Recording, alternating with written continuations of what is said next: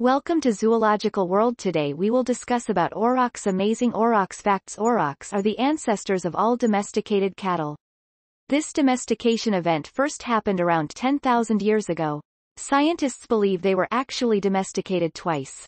The first leading to the zebu cattle of South Asia and the second leading to the taurine cattle of Europe. Aurochs were animals that played an important role in many human cultures. They are depicted in the famous Lascaux cave painting of France, which are around 17,000 years old. They also appeared on various heraldry, murals, and trinkets around the world. They were also vividly described by Julius Caesar during his wars in Gaul, modern-day France. At one point, the aurochs were probably the largest land mammals to occupy Europe. Their size even eclipsed the saber-toothed cat and the European lion. Scientists have tried to bring back the aurochs in various ways using methods such as modern biology and DNA. Aurochs appearance and behavior The aurochs were a member of the order of even-toed ungulates, meaning hoofed animals that bear weight equally on two of their toes. Although they are extinct, scientists have been able to reconstruct their appearance with some degree of accuracy from skeletons, paintings, written descriptions, and genetic analysis. The aurochs was an animal that resembled modern cattle but with longer legs, a bigger skull, broad horns, and massive shoulder muscles. The coat color was a dark black or brown with a white stripe running down the spine. These formidable beasts probably measured up to 6 feet at the shoulder height and weighed somewhere between 1,500 and 3,000 pounds. This would make them among the largest bovines to ever live. Female cows were much smaller than the male bulls on average and also had smaller horns and a lighter color.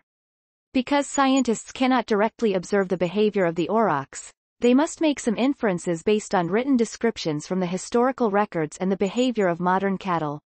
It is believed that aurochs congregated in herds of up to 30 individuals for at least part of the year.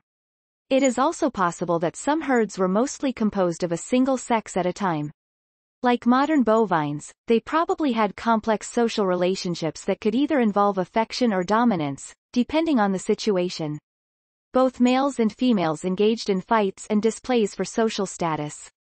When provoked, the males were highly aggressive and could cause serious injury to any predators or threats. Aurochs habitat at the height of their population. The aurochs roamed across most of the Eurasian supercontinent. The main subspecies of aurochs, Bos primigenius primigenius, covered a huge range of territory from the Atlantic to the Pacific, though it was probably absent from Ireland, the Arabian Peninsula, South Asia and Tibet, Japan, and the far north.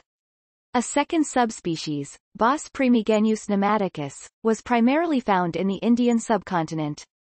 A third subspecies, Bos primigenius africanus, inhabited the North African region from Morocco to Egypt.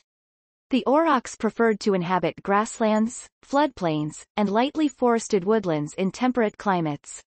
This enabled it to thrive in a huge number of different places. However, due to the large grazing lands needed to maintain their population numbers, it also put them at conflict with people and domesticated cattle for living space.